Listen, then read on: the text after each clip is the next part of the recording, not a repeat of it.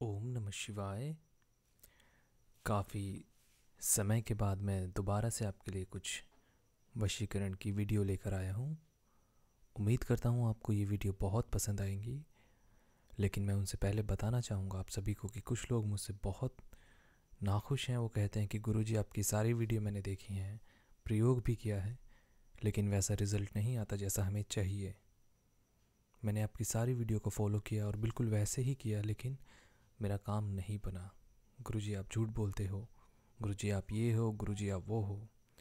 लेकिन मैं उन लोगों को एक चीज़ ये बताना चाहूँगा कि देखिए, यदि किसी के भाग्य में कोई नहीं है, मान लीजिए आप अमुक व्यक्ति को पाना चाहते हैं और वो आपके भाग्य में नहीं है तो वो कहाँ से मिलेगा? वशीकरण सिर्फ़ एक क्रिया होती है जिसके अंदर जो दूसरा व्यक्ति है, वो आपके प्रति थोड़ा ज़्यादा आपके विचार और उसके विचार मेल खाने लगते हैं। ऐसा नहीं होता, वशीकरण कोई जादू नहीं है कि आपने यहाँ से किया और वो आपका गुलाम हो गया। लेकिन लोग इस चीज़ को नहीं समझते, उनको लगता है कि बस वशीकरण किया और जो भी इंसान हो सामने वाला, वो आपका गुलाम। तो ऐसा नहीं होता दोस्तों। वशीकरण में अगर आपकी भाग्य में वो इंसान है, कई बार ऐसा होता है कि भाग्य में लिखा होता है कि प्रयोग करने से ही आपको वो मिलेगा। और कई बार ऐसा हो जाता है और वो मिल जाता है। लेकिन जिनके भाग्य में ऐसा नहीं होता है जिनका काम नहीं बनता, उन्हें धैर्य रखना चाहिए, विश्वास रखना चाहिए और और कोई प्रयोग आजमाना चाहिए और उसमें उनको सफलता ज़रूर मिलेगी। लेकिन लोगों से बिल्कुल भी सब्र नहीं होता और उनसे रुका नहीं जाता। तो मैं उनको यही बताऊँगा कि सब्र रखिए। खैर, ये तो थी कुछ जानकारी जो मैं आपको देना चाहता था, लेकिन आज जो वीडियो बनाई है, ये है इलायची से वशीकरण। इलायची एक बहुत ही शक्तिशाली और ये प्रयोग में लाई जाने वाली चीज़ है।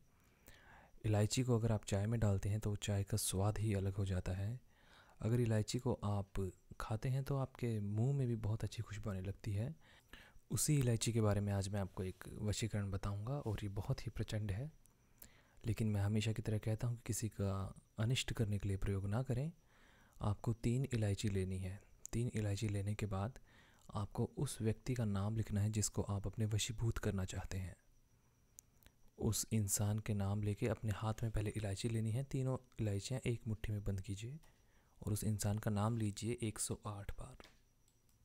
108 बार उसका नाम लेने के बाद आपको चाहिए दो अगरबत्तियाँ और एक नारियल। इन सबको पकड़ना है एक साथ। मतलब इनका एक पैकेट बना लीजिए जिसमें सारी चीज़ें डालनी है और उसको डाल के अपने सर के ऊपर से सात बार घुमाना है क्लोक वाइज वैसे घुमाने के बाद इसको चलते हुए पानी में छोड़ देना है। सिर्फ़ इतना करना है। मैं फिर से बता देता हूँ, तीन इलायचियाँ, दो अगरबत्ती और एक नारियल।